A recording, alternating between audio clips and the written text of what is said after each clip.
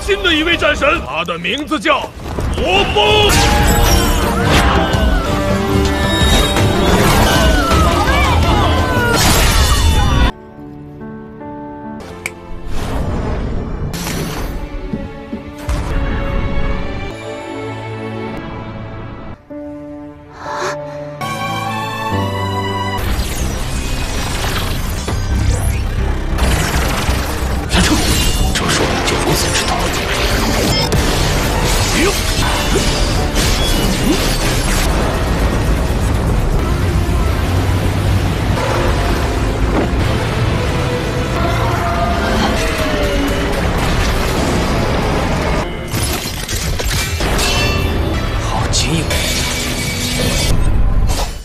Halo semuanya, selamat datang di Rong Film. Bagaimana kabar kalian semua? Semoga selalu sehat dan baik-baik saja. Sesuai jadwal, jadi pada hari ini kita akan lanjutkan series Wallet Star season kedua. Pada minggu kemarin, Lo Feng secara resmi sudah menjadi inspektur baru di kota Jiangnan. Teman-temannya dan keluarganya sangat senang mendengar kabar ini.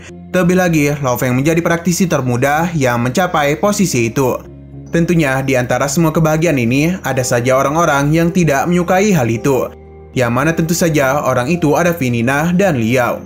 Mereka sungguh tidak rela pembunuh anaknya mendapatkan prestasi sebesar ini. Liao pun menghubungi tetua Yan Hai untuk meminta bantuan menghabisi Lo Feng. Sayangnya, Yan Hai tidak ingin melakukan hal itu karena sama saja dengan membuat Hong marah. Tapi karena Liao terus memohon, dia pun memberikan sebuah buku misterius yang mana ketika Liao membukanya, dia ini sangatlah terkejut. Zinal kembali kepada Lo Feng. Dia yang sudah memasuki istana Dewa Perang sangat terkejut dengan kemegahan yang berada di sana. Jadi tidak heran mengapa banyak sekali praktisi yang mengimpikan untuk datang ke tempat ini. Dia yang masih mengagumi tempat ini sangat penasaran siapa sebenarnya yang telah mendesain istana Dewa Perang. Sebelum EA ini menjawab, pada saat juga Keita datang untuk menemui Lo Feng. Tentu mereka tidak menduga akan bertemu secepat ini. Sebenarnya Keita itu sedang jalan-jalan dan tidak sengaja melihat Lo Feng. Dia tahu bahwa ini ada kedatangan pertama Lo Feng di istana Dewa Perang. Lo Feng membenarkan hal itu, jadi ini masih sangat asing dengan tempat itu. Dia pun berharap Keita mau memandu dirinya. Meskipun mereka sempat saling berselisih, namun sebagai sesama Dewa Perang, tentu Keita akan memberikan bantuan kepada Lo Feng. Apalagi dia itu sudah terlebih dahulu berada di istana Dewa Perang. Jadi, ini sudah sangat akrab dengan tempat ini. Dia juga berjanji akan memberikan Lo Feng sebuah kejutan besar. Dengan banyaknya praktisi di tempat ini, jadi sudah tidak heran mengapa Istana Dewa Perang begitu luas. Kita memberitahu Lo Feng bahwa para praktisi Dewa Perang biasanya tersebar di berbagai belahan bumi. Jadi untuk bertemu, mereka akan mendatangi Istana Dewa Perang untuk sekedar nongkrong dan bertemu dengan para praktisi lainnya. Terlihat di sini juga ada Par dan itu juga telah melihat kedatangan Lo Feng. Di sini kita juga diperlihatkan seorang praktisi yang mana kita masih belum tahu siapa dia karena hanya mulutnya saja yang diperlihatkan. Namun orang ini sedang memperhatikan Lo Feng. Di sini, kita masih ingat betul janjinya di Pula Berkabut kepada Lo Feng. Yang mana jika Lo Feng datang ke Istana Dewa Perang, maka dia akan memberikannya sebuah hadiah. Pada saat juga, Keita pun mulai memperkenalkan Lo Feng kepada semua praktisi di sana. Yang mana Lo Feng adalah Dewa Perang ke-3516. Pengumuman besar pun dibuat untuk menyambut kedatangan Lo 新的一位战神，他的名字叫魔风。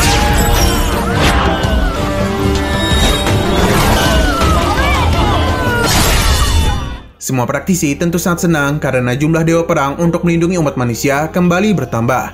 Meskipun sebenarnya para praktisi senang, namun ada juga beberapa orang yang tidak menyukai kedatangan Lo Feng. Yang kemungkinan para praktisi itu masih memiliki hubungan dengan keluarga Bolinas. karena kita sudah tahu betapa buruknya hubungan Lo Feng dengan mereka.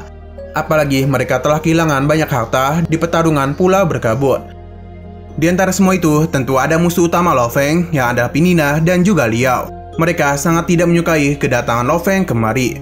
Tentu saja, di sini Liao menenangkan Pinina karena hal itu hanya akan membuat nama mereka buruk di hadapan praktisi lainnya. Nah, di sini juga terlihat ada Yan Hui dan juga Jiang Feng. Kita mengucapkan selamat kepada Lo Feng yang telah berhasil memasuki Istana Dewa Perang. Ia memberitahu bahwa setiap ada Dewa Perang baru, maka akan disambut dengan sangat megah. Apalagi jika bertambahnya anggota mereka, maka umat manusia akan mendapatkan lebih banyak harapan untuk hidup. Mendengar hal itu, seketika mengingatkan Lo Feng tentang perkataan Lugang yang menyerahkan masa depan umat manusia kepada mereka. Dia pun berharap Lugang bisa melihat dirinya karena dia akan mewarisi kehendaknya dan juga akan menjalankan warisannya untuk melindungi umat manusia. Pada saat juga, Yan Hui pun datang untuk menemui mereka. Dia meminta Lo Feng untuk tidak memanggilnya sebagai inspektor lagi karena bagaimanapun Lo Feng sudah lulus. Melihat itu, Keita pun pamit pergi karena dia tidak ingin mengganggu reuni murid dan juga guru. Ia pun berharap bisa berbicara lagi dengan Lo Feng. Yan Hui memberitahu bahwa semua praktisi di sini adalah orang paling elit di antara semua manusia. Jadi, jika Lo Feng berbicara dengan mereka akan sangat berguna untuk perkembangannya. Yan Hui pun mengajak Lo Feng untuk menikmati hidangan terlejat di istana Dewa Perang. Setelah mereka makan, Lo Feng menanyakan apakah ada pelelangan di istana Dewa Perang. Yang ternyata pelelangan memang ada di tempat ini. Bahkan malam ini juga ada. Mendengar hal itu, Lo Feng pun menanyakan tentang air kehidupan dan ternyata barang itu juga akan dilelang pada malam ini. Tidak hanya itu saja, akan ada banyak sekali barang yang tak ternilai dilelang di Istana Dewa Perang. Karena tentunya pihak Amerika tidak akan mungkin menjual satu barang saja, karena mereka itu juga ingin mendapatkan banyak uang. Nah, pelelangan ini ternyata diadakan setiap bulan. Untuk air kehidupan akan dimulai dengan harga 10 miliar koin Hansia. Bahkan harga tertingginya pernah mencapai 200 miliar koin Hansia. Mendengar hal itu tentu membuat hati Loveng senang karena setelah malam ini adiknya akan bisa berjalan kembali. Di percakapan mereka tadi, Loveng tahu bahwa pelelangan di Istana Dewa Perang akan diadakan di tanggal 15 setiap bulannya. Dan lebih dari 90% Dewa Perang akan ikut dalam pelelangan. Dia yang memasuki tempat pelelangan kembali terkejut dengan kemegahannya. Jiang Feng memanggil Lo Feng dan meminta dia untuk duduk bersamanya. Dia pun memberitahu bahwa kekuatan dari seluruh dunia akan berkumpul di tempat ini. Karena tentunya mereka ingin melihat barang spesial apa yang akan dilelang. Setelah lelang ini selesai, Jiang Feng berjanji akan memperkenalkan Lo Feng dengan Dewa Perang milik Aula Bela Diri Jisian. Dan untuk Dewa Perang tak terkalahkan, mereka juga memilikinya yang mana totalnya ada tiga termasuk Lo Feng. Beberapa saat kemudian, pemandu pelelangan pun muncul untuk memulai acara ini, yang mana akan ada 71 barang untuk dilelang. Tidak begitu lama, acara pelelangan ini pun secara resmi dimulai.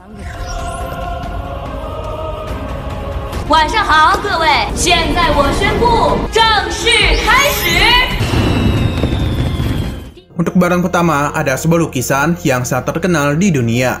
Liao yang berada tidak jauh dari Lo Feng merasa sangat kesal karena Lo Feng itu terlihat sangat mengagumkan. Pinina berencana untuk menyerang Lo Feng, namun Liao tidak ingin dia melakukan hal itu. Dan meskipun ini ada pilihan terakhir mereka, tetap saja dia tidak rela istrinya melakukan hal itu. Karena bagaimanapun mereka telah kehilangan anak mereka, jadi tentunya Liao tidak ingin kehilangan Pinina. Nah, barang kedua pun muncul, yang mana ini ada air kehidupan. Harga awal pun dimulai dan orang-orang mulai memberikan tawaran. Lo Feng saat ingin mendapatkannya tentu tidak akan melepaskannya begitu saja.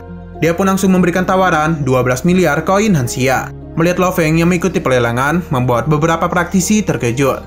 Pinina sebenarnya ingin mengganggu Lo Feng, namun Liao segera menghentikannya. Karena dia menyadari Lo Feng bertekad untuk mendapatkan barang itu. Jadi akan sangat sia-sia jika Pinina membuang banyak uang jika hanya ingin mendapatkan perhatian Lo Feng. Lo Feng sangat heran mengapa tidak ada lagi orang yang memberikan penawaran. Jiang Feng memberitahu bahwa para praktisi menghormati Lo Feng. Karena bagaimanapun hanya belasan orang saja yang mencapai Dewa Perang tak terkalahkan. Apalagi ini ada pelelangan pertama Lo Feng, jadi mereka ingin membuat hubungan baik dengan dirinya. Karena tidak ada lagi yang memberikan penawaran, maka air kehidupan pun jatuh ke tangan Lo Feng.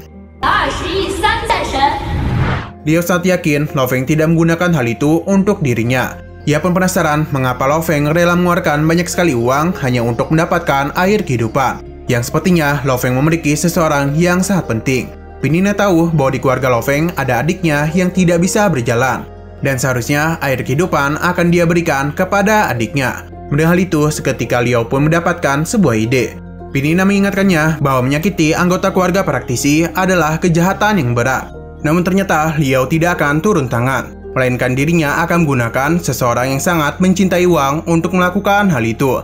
Namun tentunya hal ini akan membutuhkan waktu untuk mencari orang yang tepat. Dia pun teringat bahwa penjelajahan peradaban kuno untuk aula bela diri Jisian akan segera dimulai. Jadi, Lo Feng itu pasti akan ikut pergi ke sana. Yang kemungkinan inilah waktu yang tepat untuk Liao membalas dendam. Kembali ke Lo Feng, dia yang sudah mendapatkan air kehidupan merasa sangat senang. Namun dia masih membutuhkan satu lagi yang tentunya untuk Jiang dari tim Firehammer. Barang ke-58 pun diperlihatkan, yang mana itu adalah salinan jaring emas Black Widow Spider King. Yang mana ini adalah monster tingkat raja. Harga awal dari jaring ini dimulai dari 5 miliar koin Hansia. Nah ternyata Lo Feng memang ingin memesan jaring ikan yang terbuat dari bahan tingkat tinggi. Sayangnya, jaring Black Widow Spider King hanya mengandalkan racunnya saja. Jadi, untuk menangkap monster tingkat raja akan sangat sulit untuk dilakukan. Namun, jika ingin menggunakannya kepada dewa perang atau monster tingkat lord, jaring ini akan sangat diandalkan. Tentu hal itu sudah lebih dari cukup untuk menangkap Liao. Loving pun ikut memberikan penawaran untuk mendapatkan jaring ini. Loving yang menaikkan penawarannya menjadi 10 miliar membuat banyak orang terkejut.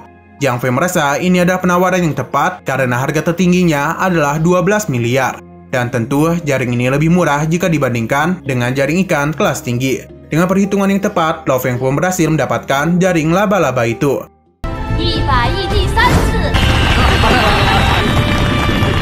Melihat hal itu tentu membuat Liao sangat kesal dan sepertinya dia ini sudah tahu jaring itu akan digunakan oleh Lo Feng untuk siapa. Setelah acara pelelangan selesai, Jiang Peng pun berpisah dengan Lo Feng. Nah, pada saat juga, seseorang pun menemui Lo Feng, yang mana dia ada Aurora, kepala distrik ke-11 di Amerika. Dan dialah yang menyediakan air kehidupan yang baru saja Lo Feng beli. Mendengar hal itu, Lo Feng pun menerima ajakannya untuk minum bersama. Di saat mereka saling berbicara, Lo Feng memberitahu bahwa dia masih membutuhkan air kehidupan. Sayangnya, hal itu dimiliki oleh pemerintah Amerika, jadi Aurora harus mengajukan proposal terlebih dahulu. Lo Feng sangat senang dan bersedia untuk membayar 200 miliar untuk mendapatkannya. Hal itu membuat Aurora tertawa dan meskipun prosesnya tergolong cukup rumit, namun dia hanya akan meminta bayaran 12 miliar saja. Jadi dengan harga segitu, Lo Feng bisa mendapatkan lagi air kehidupan. Mendengar hal itu membuat Lo Feng sangat senang. Aurora juga sangat senang karena bisa bertemu dengan Lo Feng yang adalah salah satu dewa perang tak terkalahkan. Dia pun memberikannya kartu member, yang mana hal itu akan membantu Lo Feng mendapatkan diskon di acara pelelangan. Dan jika Lo Feng mau menghubunginya, dia itu akan mendapatkan harga yang sangat menarik. Sino berpindah kepada Lohua. Dia yang masih duduk di kursi roda sangat kesulitan beraktivitas. Bahkan untuk mengambil bunga saja, dia ini sangat kesulitan. Dan kesulitannya itu tidak akan bisa dirasakan oleh banyak orang. Saat itu juga, Lo Feng pun datang untuk menemui adiknya, yang mana dia itu memberitahu Lahua akan segera berjalan. Mengetahui kakaknya membawa air kehidupan membuat dia sangat senang. Beberapa saat kemudian, semua orang yang dia sayangi mulai berkumpul untuk melihat Lahua berjalan kembali. Secara perlahan, dia pun mulai bangkit dari kursi rodanya dan akhirnya Lahua pun bisa berdiri kembali. Tidak hanya berdiri saja, kini dia sudah mulai berjalan seperti orang normal lainnya.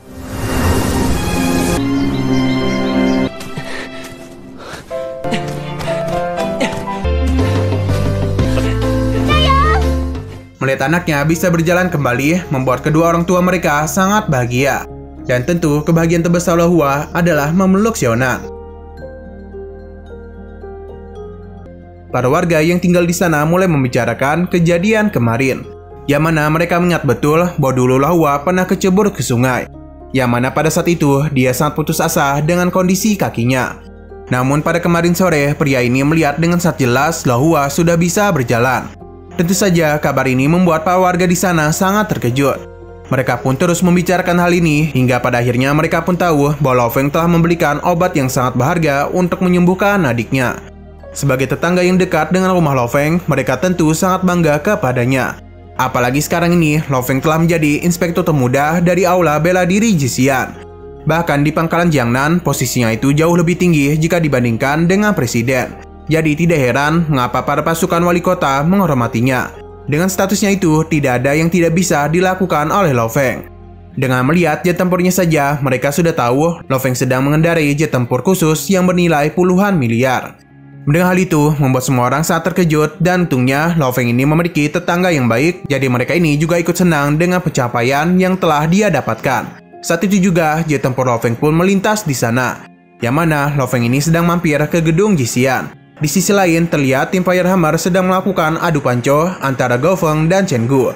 Sebagai seorang ketua, tentu Gao Feng tidak ingin kalah. Jadi, dia pun tidak memberikan ampunan kepada Chen Gu. Melihat ini membuat para anggotanya menjadi tidak semangat lagi karena Gao Feng terus memenangi permainan. Nah, beberapa saat kemudian, Jiang Ke datang untuk menantang Go Feng. Melihat tangannya yang sudah pulih tentu saja membuat mereka sangat terkejut. Karena bagaimanapun, di season 1 kemarin, tangan Jiang Ke terkena serangan. Bahkan, dokter di sana tidak mampu memberikan bantuan. Namun kini dia sudah kembali pulih, yang mana tentu saja ini semua berkat Lo Feng yang memberikan air kehidupan. Jiang Ke pun beradu panco dan tanpa diduga dia itu langsung menang. Nah mereka pun melihat Lo Feng akan segera pergi. Lo Feng sangat senang karena akhirnya semua urusannya sudah selesai. Dan orang-orang yang dia cintai juga telah kembali tersenyum. Sina berpindah ke rumah Lo Feng yang mana dia ini sedang memperdalam kekuatan mentalnya. Ia merasa sangat senang karena telah mempercepat pedang terbangnya. Namun tentu saja ini sangat melelahkan, apalagi Lo Feng sedang melatih dasar-dasar master spiritual. Bahkan untuk menyelesaikan gulungan kedua, dia itu memerlukan waktu tiga hari. Ia pun penasaran berapa lama dia akan menyelesaikan gulungan ketiga. Lo Feng merasa buku itu sangatlah membantu perkembangannya. Apalagi masih ada 99 gulungan katalog yang harus dia pelajari dan juga dia latih. Tentunya ini tidak semudah yang dipikirkan. Bahkan Master Spiritual yang saat ini memegang rekor tertinggi hanya berlatih sampai gulungan ke-18. Loving pun menduga bahwa ke depannya setiap gulungan akan menjadi sebuah ujian. Setelah semua itu, Loving pun mempelajari jaring emas yang baru saja dia beli. Dia sadar bahwa kecepatan sangatlah diperlukan untuk mengendalikan jaring emas. Dengan kekuatannya saat ini, mungkin masih terlalu sulit untuk menangkap Liao. Jadi, Loving harus banyak berlatih dulu karena meskipun kekuatannya sangat kuat, namun area jaringnya cukup luas. Nah, saat juga dia pun mendapatkan sebuah pesan yang mana hal ini membuat dia sangat senang. Dia pun bergegas untuk pergi keluar dan memberitahu kedua orang tuanya bahwa dia ini tidak akan ikut makan siang. Melihat Xiaonan yang datang berkunjung, Loving pun meminta adiknya untuk menemani Xiaonan berjalan-jalan. Di sini ibunya memberitahu bahwa banyak sekali orang-orang yang membicarakan perjodohan. Loving paham apa yang ingin dibicarakan oleh ibunya, jadi dia meminta untuk menghentikan hal itu. Lahua memberitahu bahwa gadis yang dibicarakan oleh ibu mereka sangatlah cantik. Mendengar hal ini tentu membuat Xiaonan sangat kesal. Loveng hanya tertawa dan pamit pergi, yang mana Lahua tahu bahwa kakaknya ini akan menemui siapa. Sin pun berpindah ke bandara, yang mana Loveng sedang menunggu kedatangan seseorang yang tentunya itu ada Susin. Beberapa saat kemudian, Susin pun tiba. Melihat kehadirannya, Loveng pun segera mendekatinya. Susin tidak tahu Loveng akan menemui dirinya, padahal dia belum memberikannya pesan. Yang ternyata Suganglah yang memberikan pesan kepada Loveng. Nah, di sini terlihat ada beberapa mobil mewah yang berhenti di dekat mereka. Yang mana orang di dalam mobil itu ada Sun Chao. Alasan dia kemari ada untuk menjemput Susin.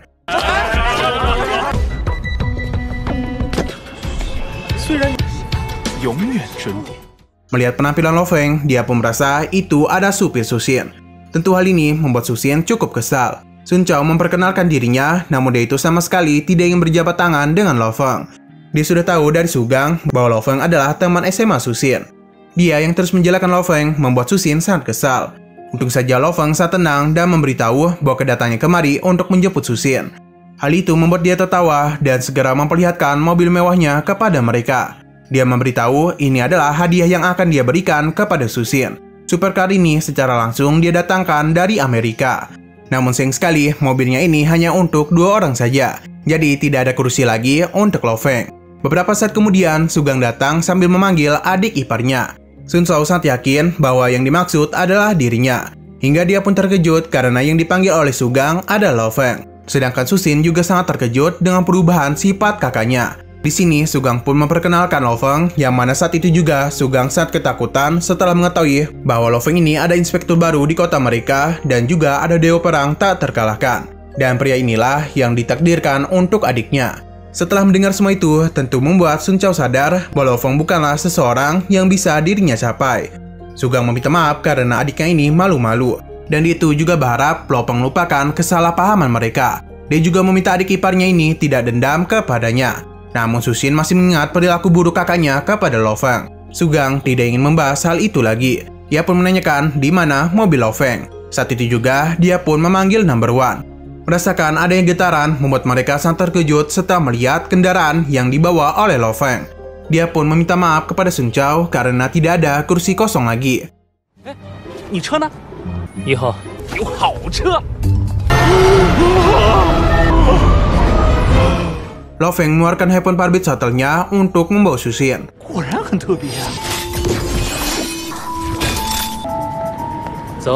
Orang-orang yang berada di sana tentu sangatlah terkejut. Sugang juga masih sangat terkejut karena jet tempur ini ada tingkat kajah yang sangat mahal. Bahkan jika semua aset keluarga mereka dikumpulkan, hal itu belum cukup untuk membeli jet ini. Dia pun tidak mengira adik iparnya itu akan sekaya ini. Dia pun menyarankan Sung Chow untuk menyerah dan tidak mendekati adiknya lagi. Karena meskipun ayahnya Dewa Perang, hal itu tidak akan bisa melindunginya. Sugang yang melihat ada supercar segera memasukinya. Dia pun berterima kasih karena dia ini menganggap itu ada hadiah ulang tahunnya. Kembali kepada Lo Feng, di sini dia sudah memakai setelan khusus untuk berkencan dengan Susin. Tentu Susin sangat terpukau dengan penampilannya. Tidaknya itu, dia juga sangat menikmati pemandangan malam di kota Jiangnan. Mereka yang melewati tembok pertahanan membuat Susin teringat dengan pembicara mereka dulu. Yang mana di sinilah Lo Feng memberitahu keinginannya untuk menjadi dewa perang setelah dia lulus dari SMA. Susin pun tidak menduga hanya dalam waktu setengah tahun saja Lo Feng sudah setinggi ini. Dan itu layaknya seperti pesawat kertas yang mereka terbangkan dulu. Namun Susin takut Lo Feng akan terbang lebih tinggi lagi hingga dia tidak bisa menjangkaunya. Susin tidak ingin melihatkan kesedihannya dan menanyakan apakah Lo Feng telah menepati janjinya untuk membawa dia makan malam di bawah cahaya bintang. Tentu saja Lo Feng ingat dan dia pun meminta number one untuk menyiapkan itu semua.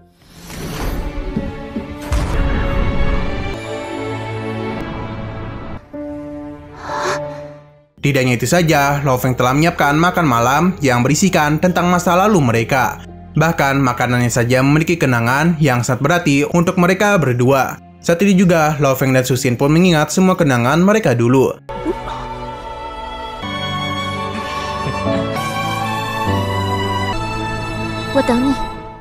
Di sini Lo Feng meminta Susin untuk tidak khawatir karena sejauh apa pun pesawat kertas itu diterbangkan, ia akan selalu mengingat di mana dia berasal. Beberapa saat kemudian, Lo Feng pun memberitahu perasaannya kepada Susin, dan itu berharap dia bisa menjadi kekasihnya. Susin sempat merasa Lo Feng tidak berani untuk mengatakan hal ini kepadanya. Yang ternyata dulu Lo Feng tidak berani karena takut Susin akan terseret dalam bahayanya. Namun sekarang kekuatannya sudah cukup untuk melindungi orang-orang penting dalam hidupnya.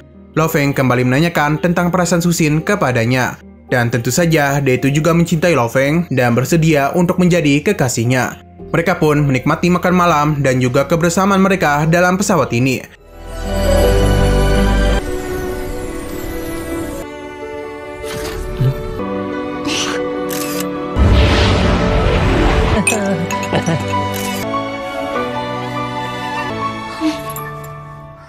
Meskipun sempat malu-malu, mereka menutup malam yang menyenangkan ini dengan sebuah ciuman. Nah, di saat Lo Feng sedang sangat bahagia, kita pun diperlihatkan ada sebuah bintang jatuh. Namun ini bukanlah bintang jatuh sembarangan, bahkan monster laut saja sangat ketakutan dengan kehadirannya. Sayang sekali kita tidak tahu apakah ini. Dan mungkin saja ini ada sebuah monster misterius. Kita sempat tidak tahu benda apakah ini hingga kita kembali membaca manhwanya dan menemukan ini adalah sebuah telur monster. Namun kita tidak akan banyak menjelaskan karena nantinya malah jatuh ke spoiler. Jadi untuk saat ini kita nikmati saja donghuanya. Lanjut kepada telur tadi, kedatangannya di bumi membuat para monster perlahan-lahan mulai berkumpul di dekatnya. Hal ini bisa terjadi akibat gelombang yang dia keluarkan. Pihak militer menyadari gelombang monster ini karena lokasinya tidak jauh dari Samudra Pasifik. Mereka pun saat kebingungan karena radar menunjukkan kumpulan monster yang sangat banyak sedang berkumpul di lautan dalam. Bahkan jumlah mereka semakin lama semakin banyak. Sino berpindah kepada Lo Feng, yang mana Denny sedang berusaha untuk menyelesaikan gulungan ketiga katalog dewanya.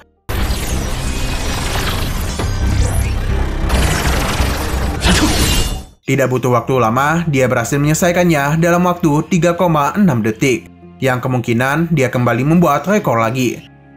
Di sebelah lain, Paman Lang sedang menunggu kedatangan seseorang yang kemungkinan dia ada seseorang yang sangat penting. Beberapa saat kemudian, pesawat orang itu pun tiba yang ternyata dia adalah komandan militer tadi.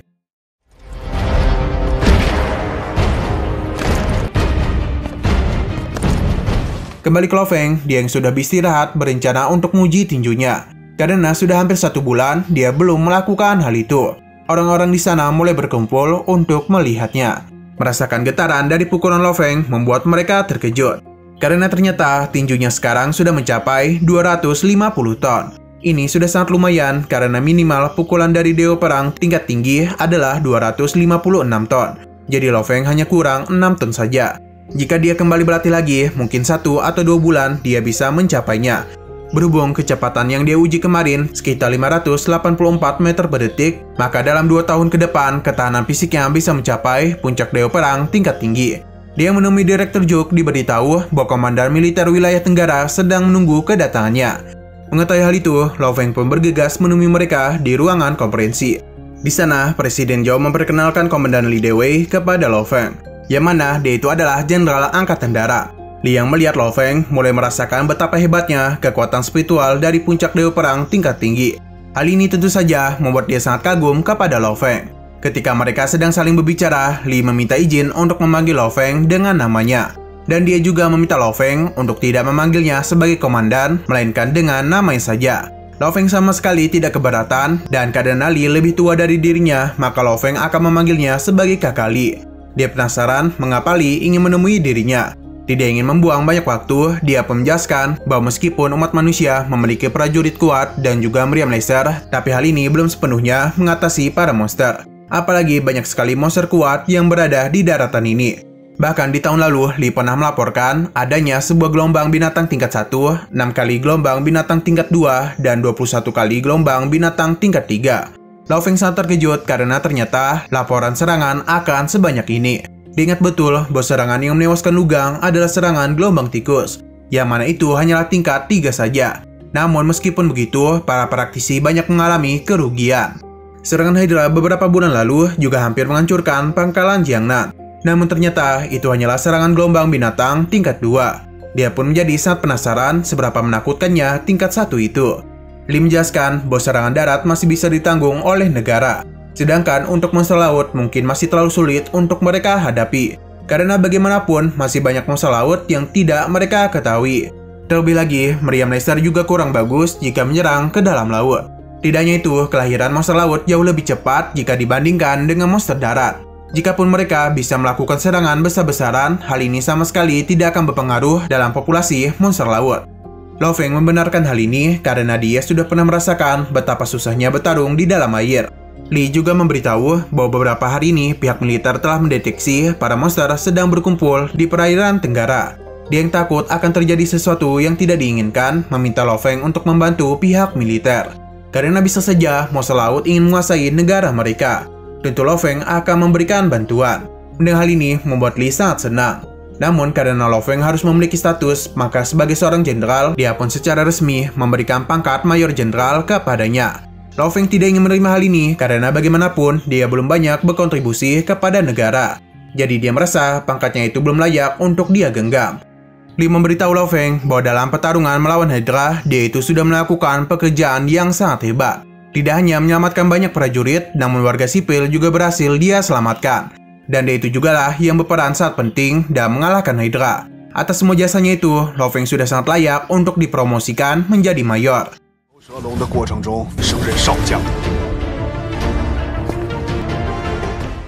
Loving yang secara resmi sudah menjadi mayor berjanji dirinya akan selalu siap jika negara membutuhkan bantuannya. Malamnya, kita dibawa ke tempat Susin, yang mana dia ini sedang video call dengan Loveng. Dia sedikit salting ketika Loveng memberitahunya dia itu tetap cantik jika memakai pakaian apa pun. Susin berencana untuk memperlihatkan gaun yang akan dia pakai untuk perjamuan malam ini. Loving menjadi sangat penasaran secantik apa kekasihnya menggunakan gaun itu. Saat itu juga, Mbak AI muncul untuk memberitahu Loving dia ini mendapatkan pesan mengenai keberangkatan mereka dalam ujian peradaban kuno. Yang mana markas besar akan mempercepat ujiannya. Ada tiga poin penting yang harus Loving ketahui dalam ujian ini. Yang mana dengan ujian peradaban kuno inilah Loving bisa mendapatkan armor dewa hitamnya. Situasinya nanti tidak akan berbahaya karena resiko kematian hanya 72% saja. Tentu hal ini membuat Loving terkejut karena seharusnya ini sudah termasuk kategori bahaya.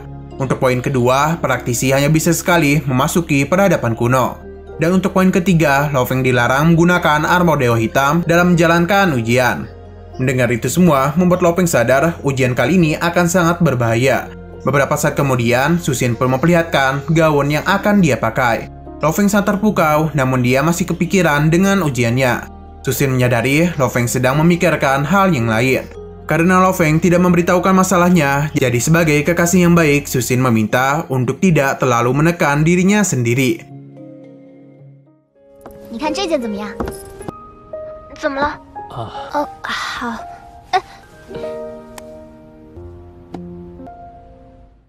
Beberapa saat kemudian, Loveng berangkat dengan nomor one menuju pesta penyambutannya. Pesta ini dihadiri oleh orang-orang penting di pangkalan Jiangnan. Karena ini adalah pesta untuk menyambut kedatangan inspektur baru. Di sini Li ketemu dengan Jong yang adalah seorang wali kota. Mereka yang berteman baik sangat senang karena bisa bertemu kembali. Beberapa saat kemudian, keluarga Su pun datang. Bahkan Su Yongnu yang adalah kepala keluarga Su juga ikut datang. Orang-orang sudah tahu saat ini Loveng sedang berkencan dengan gadis dari keluarga Su. Susin yang berpenampilan sangat cantik membuat banyak orang memperhatikan dirinya. Bahkan Li dan Yejong memuji betapa tingginya selera yang dimiliki oleh Loveng. Dia pun memberikan saran kepada temannya ini untuk mencari wanita melebihi Susin jika ingin mengambil Loveng dari keluarga Su. Di dalam sana, pesta berlangsung cukup ramai.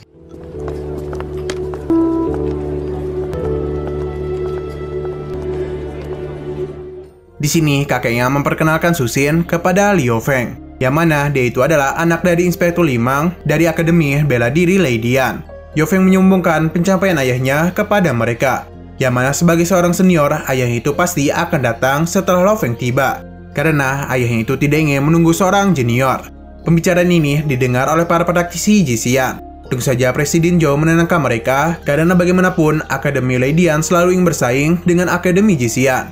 Apalagi saat ini, inspektur baru mereka ada Dewa Perang tak terkalahkan. Selama Loveng berada di kota pangkalan Jiangnan, maka hal itu sama saja dengan menghancurkan martabat Leimang. Beberapa saat kemudian, Loveng pun tiba.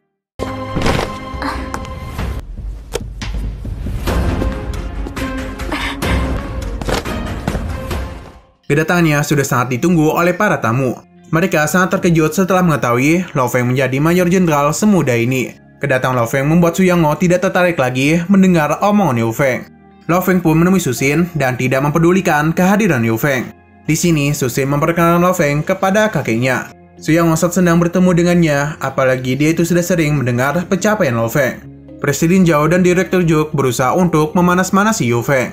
Karena bagaimanapun, dia itu sudah menjelekkan nama Akademi Jisian. Di sini, Su Yango memberikan pujian kepada Loveng. Karena dengan usia sekarang, dia yakin masa depannya akan sangat cerah. Loveng juga sangat senang karena bisa bertemu dengan kepala keluarga Su.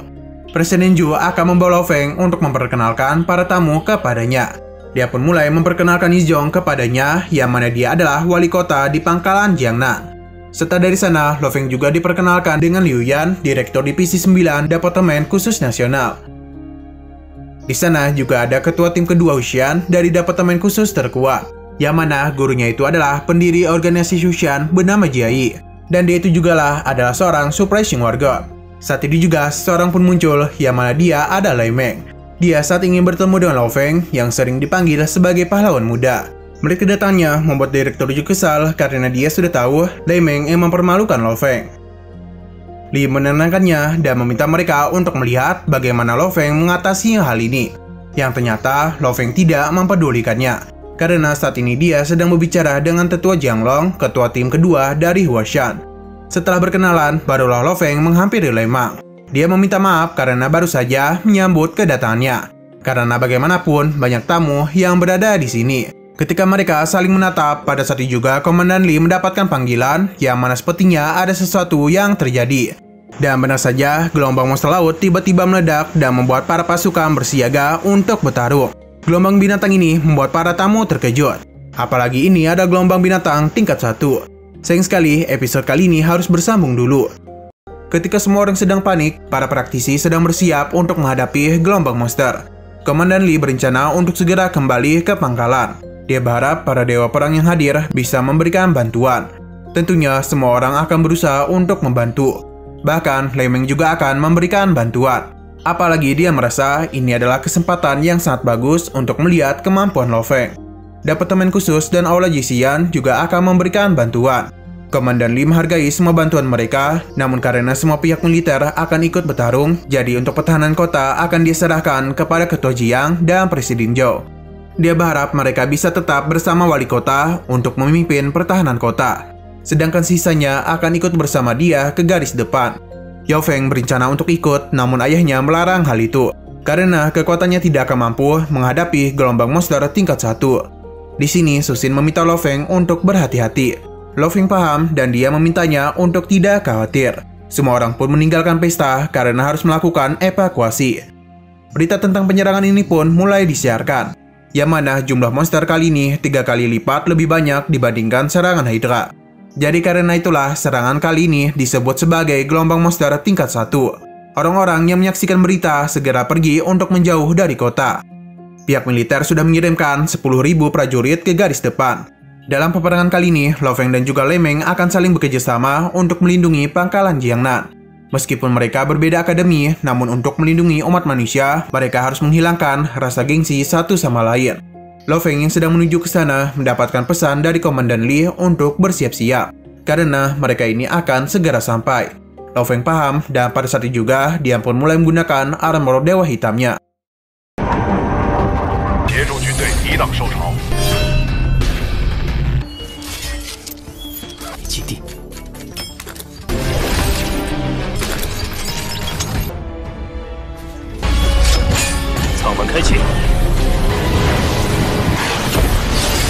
Dia dan Lemeng telah sampai di garis depan. Mereka pun melihat dengan sangat jelas betapa banyaknya monster yang datang untuk menginvasi. Bahkan monster laut ini berdatangan dengan berbagai jenis. Inilah pertama kalinya Lopeng melihat betapa mengerikannya serangan gelombang monster tingkat satu. Tidak ingin terlalu lama melihat, mereka pun segera melancarkan serangan kepada para monster.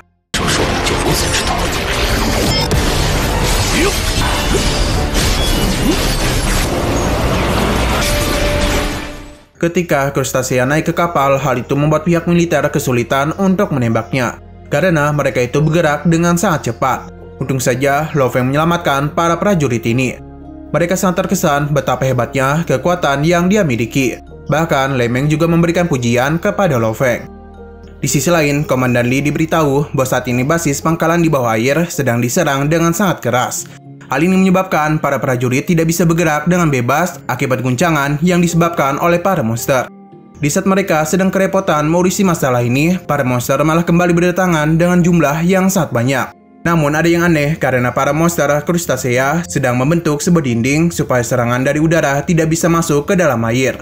Tentunya hal ini membuat mereka semakin kebingungan. Dan meskipun mereka memiliki meriam laser, namun para monster itu berada di dalam air. Jadi setiap laser yang mereka keluarkan, kekuatannya akan menurun dengan sangat pesat.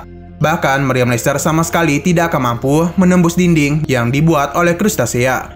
Komandan Lee sadar bahwa serangan ini sangatlah terorganisir. Dia pun menjadi semakin yakin bahwa pasti ada monster yang memberikan perintah. Mereka harus berpikir dengan sangat cepat untuk menyelesaikan penyerangan ini. Karena dengan kekuatan tempur tentara saat ini, tidak akan mungkin bisa bertahan terlalu lama dari serangan para monster laut. Kembali ke permukaan, di sini Loveng masih terus membantai para monster.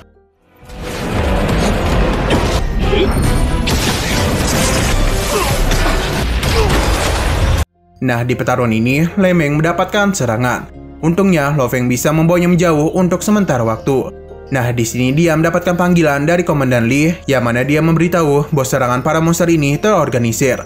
Mendengar semua itu, Loveng pun sadar bahwa ada monster lain yang memberikan perintah. Komandan Lee membenarkan hal ini karena pola serangan mereka menunjukkan adanya pemimpin yang bersembunyi. Loving paham bahwa ini harus segera menemukan dan menghabisi monster yang memimpin penyerangan. Namun karena monster ini belum ditemukan, maka tidak mau Loving lah yang harus menemukannya. Loving menyerahkan para monster ini kepada Lemeng, sedangkan dirinya akan masuk ke dalam laut.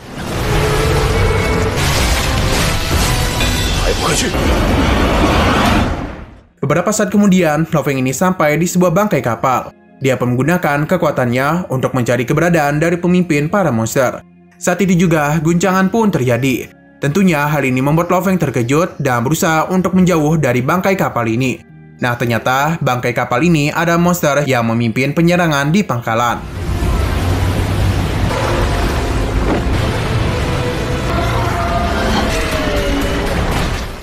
Loving tahu bahwa di hadapannya ini adalah monster tingkat Lord bintang mendesis. Guncangan dari monster itu membuat bebatuan di sana roboh. Alhasil, Loveng sempat terjatuh, tapi untung saja dia berhasil keluar dari bebatuan. Loveng merasa sedikit bingung karena gelombang binatang kali ini lebih besar dari serangan Hydra. Namun bagaimana bisa hanya ada satu saja monster tingkat Lord yang memberikan perintah. Dia pun penasaran apakah ada monster lain yang memberikan perintah. Kembali ke pangkalan, mereka sangat terkejut karena beberapa monster telah berhasil mendekati pangkalan, bahkan di antara mereka ada yang sudah masuk. Para tentara sama sekali tidak bisa berbuat apa pun, dan alhasil satu monster telah berhasil masuk ke dalam pangkalan. Kembali ke Loveng, dia melihat dengan sangat jelas monster ini sedang memberikan perintah kepada kawanannya. Tidak ingin membiarkan hal itu, Loveng langsung saja mengajaknya Bewan.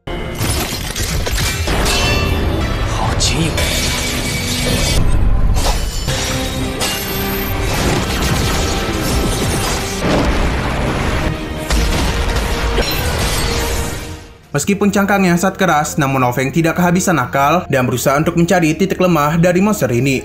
Setelah ketemu, dia langsung saja memotongnya menggunakan teknik pedang guntur. Akibat hal itu, monster ini menjadi sangat marah dan mengeluarkan gelombang suara supersonik. Ini adalah salah satu kemampuan dari binatang mendesis. Serangan itu sangatlah merepotkan, bahkan Dewa Perang tidak mampu menahannya. Tapi untung saja, Loveng menggunakan armor Dewa Hitam. Jadi dengan armor ini, dampak serangannya dikurangi. Dan kini, Loveng hanya mengalami sakit kepala saja.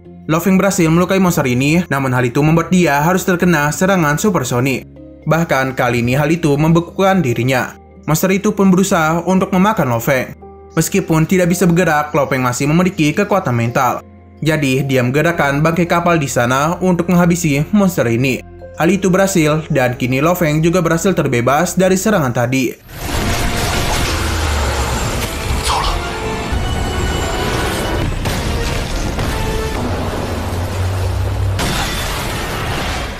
Karena pemimpin mereka sudah kalah, para monster yang menyerang ke pangkalan perlahan-lahan mulai pergi.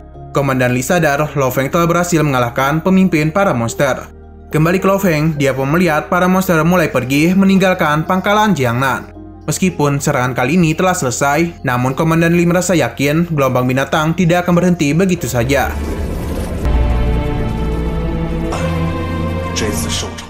Kembali ke pangkalan, di sini Loveng tidak menduga dirinya bisa menyelesaikan gelombang binatang tingkat satu. Tapi hal ini tidak mudah karena mereka semua bertarung dari malam hingga siang hari. Lemeng memberitahu bahwa dia hanya mampu mengalahkan 20 monster saja. Dia merasa keputusan olah bela diri Jisian memilih Loveng sebagai inspektur termuda adalah keputusan yang benar. Ia pun memberikan pujian kepada pemimpin Hong.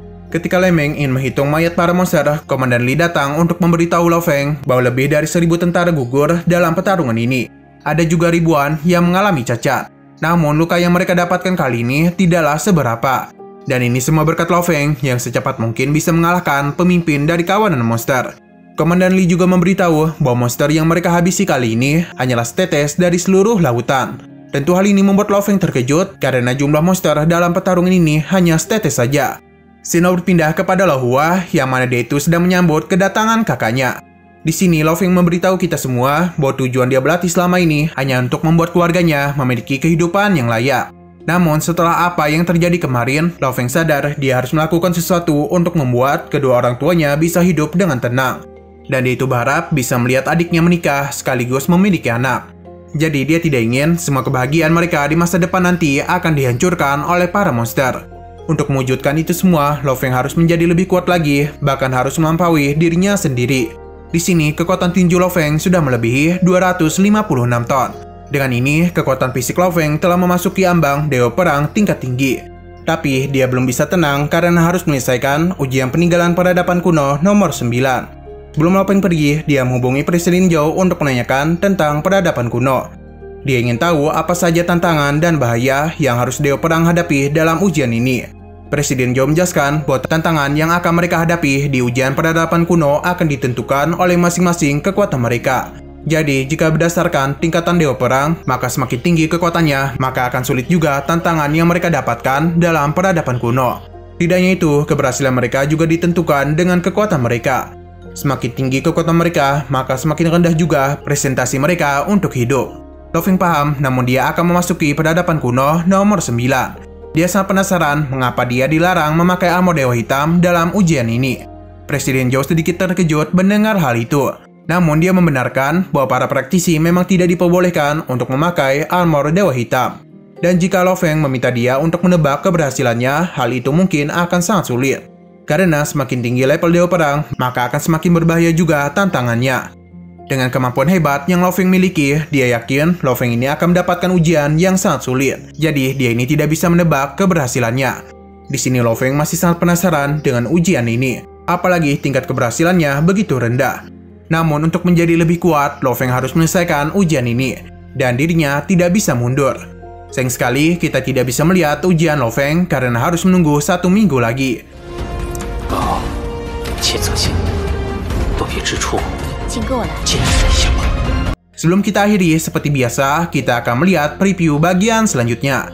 Yang mana Hong memberitahu bahwa tingkat keberhasilan dari percobaan ini mencapai 72%. Jika ada yang menyerah, dia meminta mereka untuk segera mengatakannya. Nah, di antara mereka semua ada seorang gadis bernama Yosu, yang mana dia itu adalah salah satu dari tiga pengawal utama Hong. Kita tidak tahu apakah dia akan ikut atau tidak dalam ujian ini. namun yang pasti, Lo Feng akan menjalankan ujian ini. Tapi apa pun yang ada di dalam ujiannya, tidak ada yang tahu. Untuk mengejar mimpinya, Lo Feng tidak akan mundur dan akan menjalani ujian ini. Oke, sekian dulu pada video kali ini. Untuk video selanjutnya akan hadir pada Kamis depan.